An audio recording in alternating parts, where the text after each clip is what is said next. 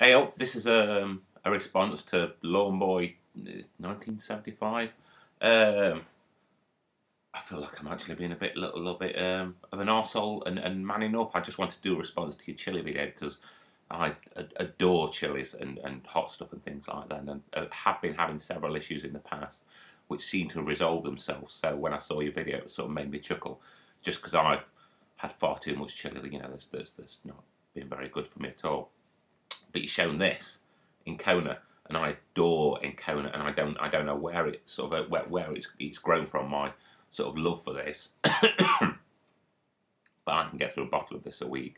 I was sometimes getting through a bottle and a half, two bottles a week, and and just putting it on everything. I was mixing it in soups for spices and things like that. Now I was going to do a video of me sort of having one of my famous cheese and chili sandwiches when um, my wife was pregnant with our first child about ten years ago about. That's 12 years ago. My son's 12 years. I should know how old he is. Um, she had a craving for cheese and chili sandwiches and salt and vinegar crisps. And they do say that, that sometimes women's cravings are the male gene dominating themselves, um, dominating the woman, and sometimes it's it, it, it's a way of the male gene establishing itself.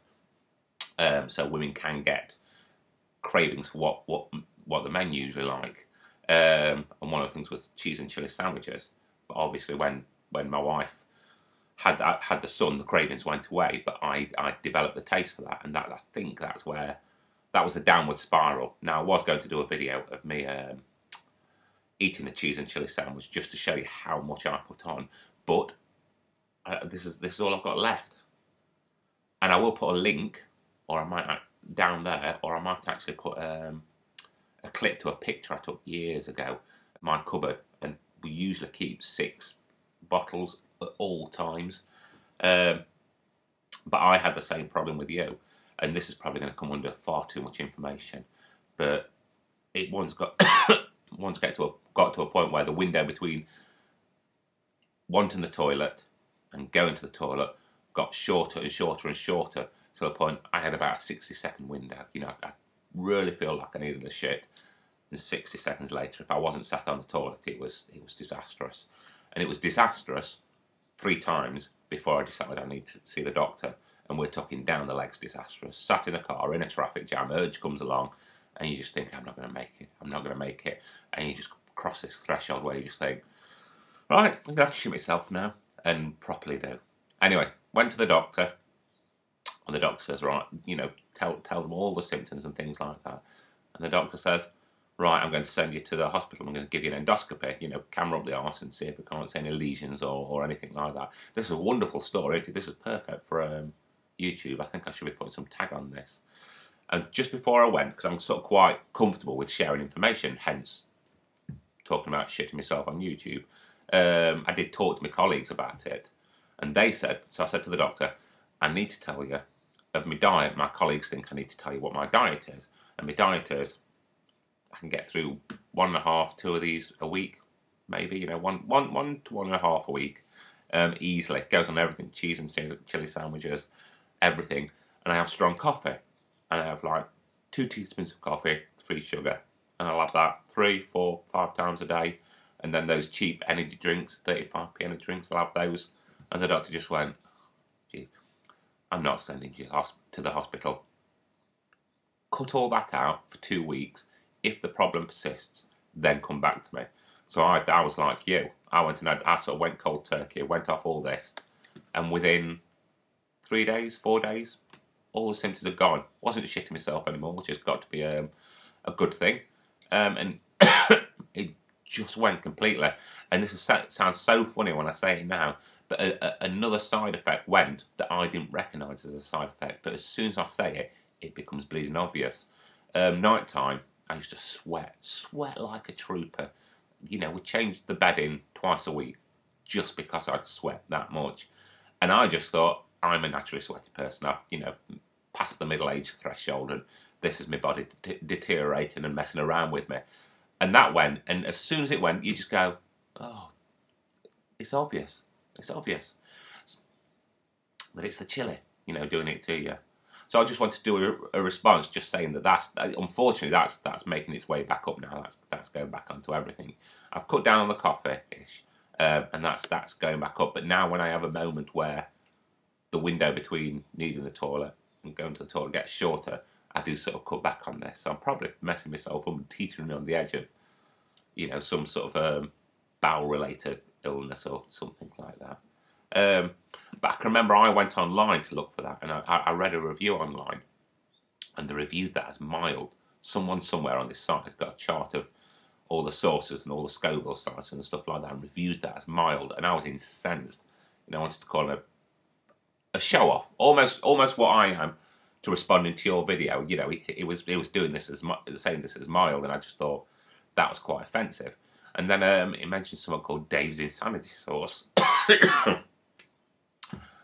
so one of my friends went to a good food show, and I just went, look, take twenty pound and get get the hottest you know chili you can. Doesn't matter, you know, even if it's a small amount. I want to sort of see what that's like. So they bought me Dave's Insanity Sauce, and that that is phenomenal. I'll tell you. Let me.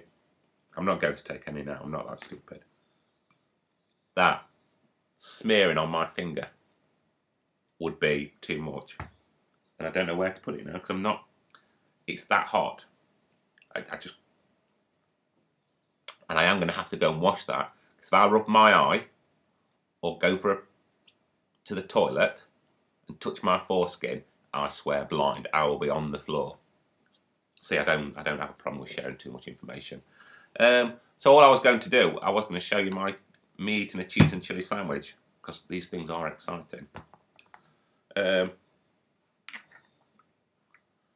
but this is the last of the chili. It's awful. It's, it's, it's, it was shock. So all I was going to do was show you me eating some because this is, like I said, exciting, exciting stuff. Oh, yeah, I thought I'd lost the screen then.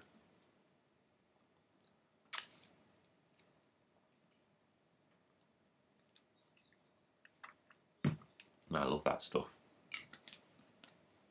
Yeah, that's it. That's just a video response. So you never know. I might actually have to cut it out totally, and that'd be awful. I mean, that's seven months ago for you, isn't it? How are you coping now? I really don't know which I'd, I'd, I'd struggle with, me, me coffee or my um, chili sauce. I once worked in a residential unit where, where for children with autism and challenging behaviour, where you're allowed to have breakfast in the morning because of the unsocial hours. And I looked in the fridge, fridge, and it was just, it was just covered. It was just, it not covered, um, full of processed stuff, processed cheese, Dunker dippers, chicken McSwizzles, and God knows whatever, anything else. And I just thought, that's the worst diet. That there's nothing there worth eating. And then I remembered I always carried a bottle of that in my car. That's how much I liked it. A bottle or two of that in my car was how much I liked it. Um, and as soon as I remembered I got that, everything in the fridge looked lovely. I, I was stuck for choices because as soon as I knew I could drown it in chili sauce, it became wonderful, and I just put it on everything. And I've just had the reason why I haven't got much is I've just had some leftover cottage pie from yesterday, and I had that when I started, and I've had that on the cottage pie. So there you go. It got to a point where I was going to restaurants and I'd take a bottle of that with me pour on the food, and my wife was getting embarrassed.